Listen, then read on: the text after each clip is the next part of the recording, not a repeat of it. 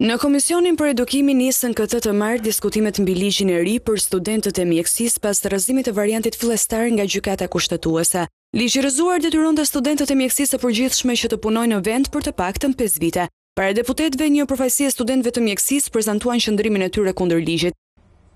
Arsyeja se pse mjekët largohen nga Shqipëria lidhet kryesisht me pjesën ekonomike. Pagat jo të mjaftueshme dhe të cilat nuk shpërblejnë mundin ndër vite të mjekëve të cilët kanë përkushtuar vite të rinisë së tyre për studiuar dhe më pas mjaft kohë të vyer dhe një stres jashtëzakonisht të madh për vetë vështirësinë e punës për t'i shërbyer pacientëve në mënyrën më të mirë të mundshme. Një mjek i ri, i cili mbaron vitin e gjashtë, në momentin që do të fillojë specializimin, përballet me faktin se më shumë se pesëdhjetë për qind e kuotave të specializimit janë pa pagesë.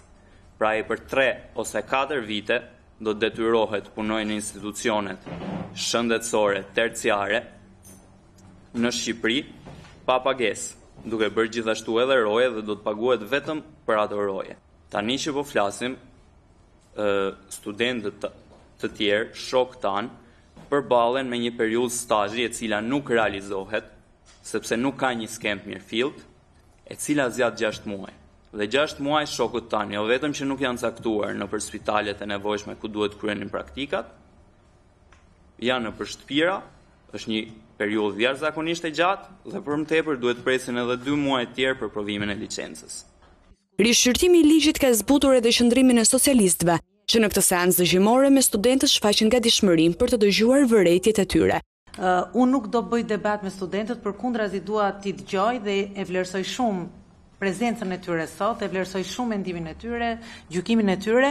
E parë në syrin e e studentëve apo të prindërve të studentëve ë është e drejtë ë pothuajse ë të gjithë ato që ata mendojnë. Por e parë në syrin tonë si ë ligjvënës ë absolutisht që duke pas ë duam apo s'duam ta quajmë situatë emergjente apo nuk duam ta quajmë situatë emergjente, ka nevojë për për mjek. Dhe kontributi i çdo kujt mjeku prioritet ka që ta japi në vendin ku ai edhe punon edhe është diplomuar. Kërkesat e studentëve gjetën dakordësinë e plotë si nga deputetët demokratë, ashtu edhe nga ata të mazhorancës.